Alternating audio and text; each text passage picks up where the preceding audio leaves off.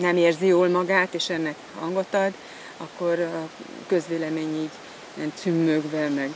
Hm, jó nagy pofont kéne adni neki, majd tudná, Hát nem tudja szegény akkor se, hogyha kapna esetleg. De Sonkádon nem... egy kemping szomszédságában Mák Irén természetgyógyász mesél arról, milyen megjegyzések érik az autista gyerekeket nevelő szülőket a mindennapok során. A természetgyógyász személyes tapasztalatait is felhasználva segít a traumák feldolgozásában a szintén érintett szülőknek. A megoldást a bábokkal játsszuk el.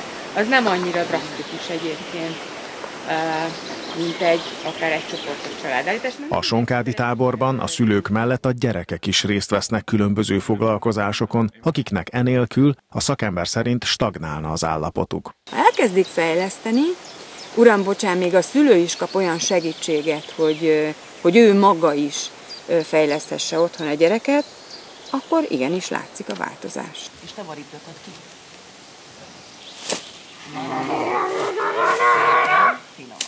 Ezen a foglalkozáson a cél a stresszkezelés gyakorlása. Minél több játék kerül a kosárba, annál közelebb ülhet a segítő kutya. Ilyenkor a gyermek saját magával is megharcol, meséli stábunknak a tábor főszervezője, Vermeser Anita, akinek közeli hozzátartozója szintén érintett az autizmusban. És akkor ők az autizmus specifikus fejlesztői, Györgyi és Anita, itt kiírják, hogy egyéni foglalkozást tartanak a gyereknek, avagy csoportosat és hány fővel, és akkor minden szülő x és választja, hogy hova szeretne menni.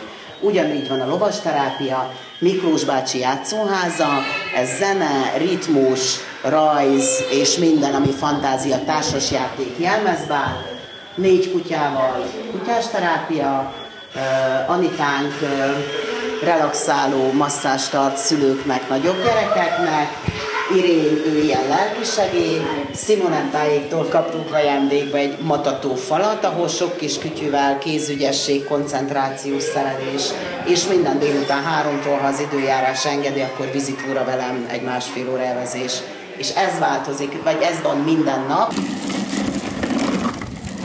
Ubrankovics Tamásné és férje két gyermeket nevelnek. Tavaly is részt vettek a táborban, és nagy megkönnyebbülés volt számukra, hogy olyan közegben nyaralhatnak, ahol szinte egy család tagjainak érezhették magukat. Ta- a tappancsára? Jó, csak fúj egy Ubrankovicsék azok közé tartoznak, akik szinte egy percre sem tudják egyedül hagyni gyermeküket. Én csak azt tudom mondani, hogy keressék a hasonló családokat, mert fantasztikus, tényleg nagyon jó, mint, mintha száz éve ismernénk egymást.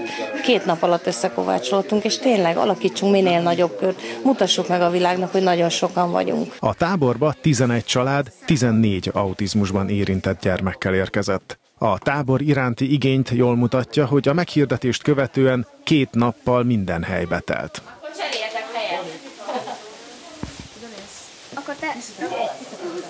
Van egy vizitúra egyesületünk, itt mi szervezünk vizitúrákat, természetesen fogadunk autizmusban érintetteket is, de ez neurotipikus emberek vizitúrája jellemzően, és a, ennek a bevételét 100%-ban erre az eseményre fordítjuk.